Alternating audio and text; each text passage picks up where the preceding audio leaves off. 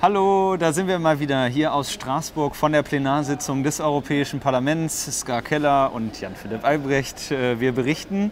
Und ja, Ska, diese Woche haben wir als erstes am Montag angefangen, äh, so ein bisschen zu debattieren und dann am Dienstag darüber abzustimmen, über die interne äh, Security Strategy. Sicherheitsstrategie. Und das klingt natürlich Genau. total gemein, so, was kann da schon drin sein? Nichts Gutes, denkt man sich. Aber man höre und staune, wir haben echt geschafft, da was reinzukriegen, also was richtig Gutes auch.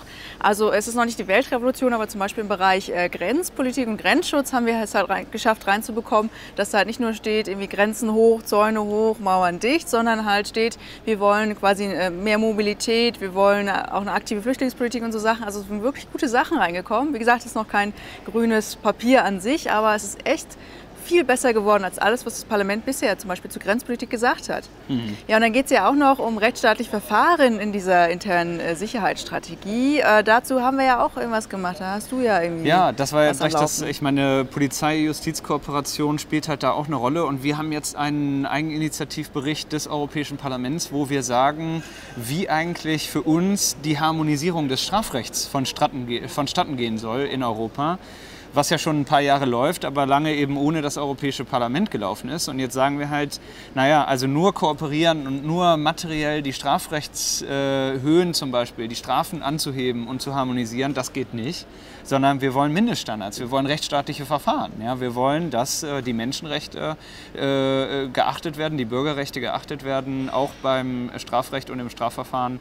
Und daran arbeiten wir jetzt. Wir haben äh, aufgerufen, die Kommissarin Malmström nicht nur im Innenbereich daran zu arbeiten, die Strafen zu verschärfen, sondern auch gemeinsam mit äh, der Justizkommissarin an gemeinsamen Standards zu arbeiten. Und ich hoffe, das äh, wird jetzt auch langsam mal der Fall sein.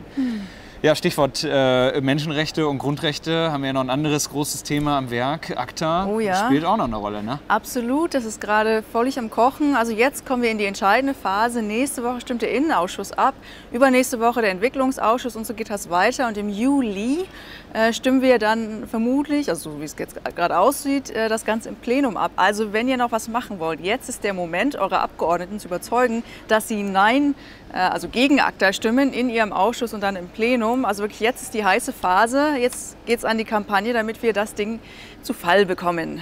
Und am 9. Juni äh, Demonstrationen überall. Oh ja, ne? Werden wir wahrscheinlich auch äh, überall alle mit dabei sein und äh, versuchen wir noch mal ein paar Leute zu überzeugen. Ne? Ja.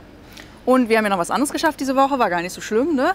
Nämlich, Ja, wir haben äh, die Finanztransaktionssteuer nochmal beschlossen. Äh, jetzt ist ja ab äh, heute findet hier, äh, nicht hier, aber in Brüssel der Gipfel, EU-Gipfel wieder statt. Und äh, da ist es eigentlich ganz gut, dass das Europäische Parlament nochmal ein klares Signal gesendet hat, dass wir die Finanztransaktionssteuer wollen. Mit einer großen Mehrheit. Nur die Liberalen, relativ isoliert waren, natürlich wieder dagegen. Weil die ja auch die ganze Zeit äh, mit äh, so populistischen Aussagen daherkommen, wie dann verlagern sich alle Finanztransaktionen irgendwo sonst wo in der Welt hin. Was natürlich Quatsch ist, weil es wird eben überall da besteuert, wo die Leute einen Sitz in Europa haben. Und das sind ja immer noch ziemlich viele Unternehmen und 500 Millionen Menschen. Das heißt, eine solche Steuer, die könnte bis zu 50, fast 60 Milliarden Euro einbringen.